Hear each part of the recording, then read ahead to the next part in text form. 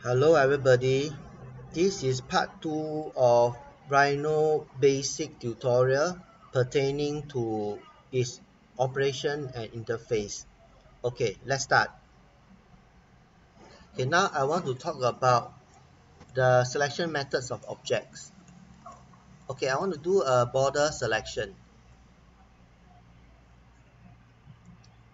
Okay, you notice that uh, by clicking and dragging the cursor, I'm able to select the rectangular block. Okay, let me repeat the, the process again. Okay, you notice that when I'm doing it the second time round, I'm not only selecting the block, I'm selecting the sphere as well. Why is this so? Okay, this is because um, there is a peculiar characteristic of um, right rhino that needs to be uh, highlighted. That is that if you were to do a border selection with the cursor movement going from the left to the right, whatever that is fully enclosed by the border will be selected. Okay. However, if you were to do the border selection with the cursor movement moving from the right to the left, whatever that is uh, fully enclosed plus is in contact with the dashed line of the border will be selected. Okay, so this is a very uh, important aspect to be aware of when doing our selection. Okay?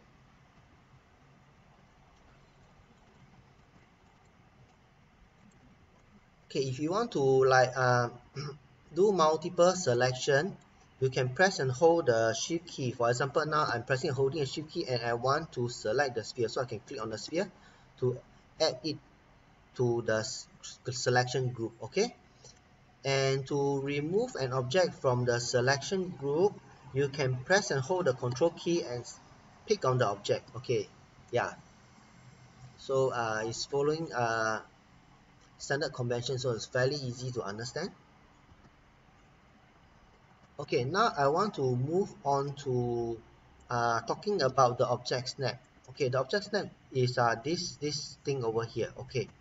Basically you can display by clicking on this uh, Osnap uh, label below okay? So what is it about? Okay let me let me give you a example to illustrate its purpose. Okay assuming that I've drawn a curve and I want to draw another curve where where the ends meet okay? So I'm going to estimate the location of the other curve okay?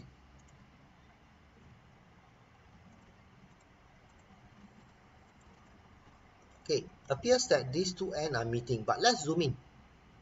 You'll notice that if you zoom close enough you know you will see that the two ends are indeed not touching. If you are designing things um, for visual purposes uh, this might be fine. But however if your form will eventually need to be manufactured or fabricated this is definitely uh, not good enough. Okay? To have uh, objects and design that can be manufactured there cannot be uh, any gaps whatsoever. So in order to resolve this problem we need to use the object snap. Okay? In our case here we need to use the object end snap. So I'm going to click on the end snap mode and draw the curve again. You notice when hover close to the end of this curve the end indicator appears signaling to me that the cursor has indeed uh, snapped to the end of this uh, object. So if I can continue to build my second curve. Okay? And if I were to zoom close you'll notice that the two curves are indeed touching at the ends okay? So this is a way to ensure that whatever we model is uh, accurate and snap to its uh, desired location okay? So let us uh, look at some of the common object snaps that that might be used okay? We have talked about the end snap so let's talk about the near okay so near means uh, if I move close to uh, the object's uh, edge or a curve it will be snapped to along it okay? Okay. And an important one to talk about is the mid okay?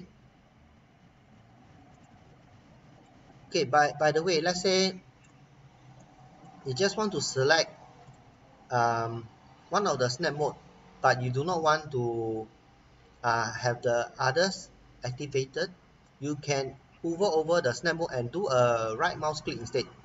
You'll notice that the other modes will be removed. So this is one way to like uh, deactivate the other modes and select uh, highlighting only the the mode that, that you want okay the object snap mode. So I'm going to demonstrate the mid okay? So mid will actually find the the middle point of a curve or an edge okay? Yeah so this is the mid okay next I'll talk about uh, the center okay? So maybe I will just move this okay? CN stands for center.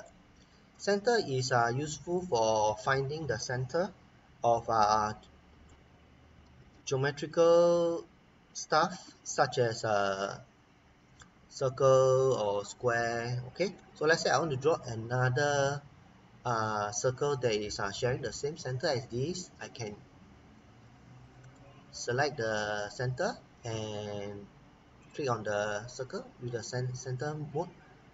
And then you hover close to the edge of the curve and you notice that uh, the word center appears and you can click down and be able to draw the, the other circle. And this second circle will share the same center as the, the first one okay? So this is center okay? Okay the next uh intersect mode that I want to talk about is the other mode that I want to talk about is the intersect okay? So um, let's click on intersect. Intersect basically will find the intersection point of of uh, curves okay? So let's say I'll draw a circle using the center radius method. If I hover close to the intersection of these two the intersect mode will be activated and I'm able to draw a circle with the center being the intersection point of these two curves okay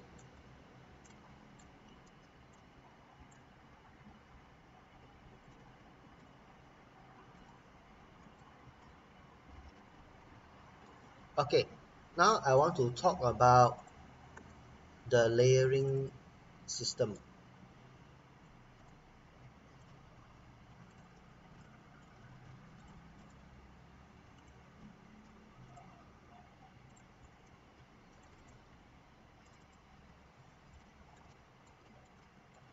Okay. You can turn on the Rhinos layers by uh, clicking on this icon you'll be able to see the the layers that uh, has already been created. To create new layer you can click on this new layer. To delete you can use this okay? Hmm. okay layers is best um, used in tandem with the object properties to organize the objects within the scene. Okay let me give you an example. Okay assuming that I want to put this object into layer 2 so what I can do is I select this object okay. Then make sure that the object properties is uh, being displayed. Then go to the first uh, tab the object tab. And you can go to that the layer op layer uh, option to change the object to a different layer. So let's say I want to put it into layer 2 okay? So you can see the object is now in layer 2 and because the display color is set to by layer is actually um, being displayed using the the, the color being assigned to, to layer 2 okay? Yeah. So uh, layers is a good way to like organize the objects in your scene and also to like uh, turn their visibility on and off. So for example let's say I don't want to see the stuff in layer 2 I can click on the visibility icon to turn off its visibility and this icon is the lock icon so you can lock that whole entire layer so that it's not selectable. Okay?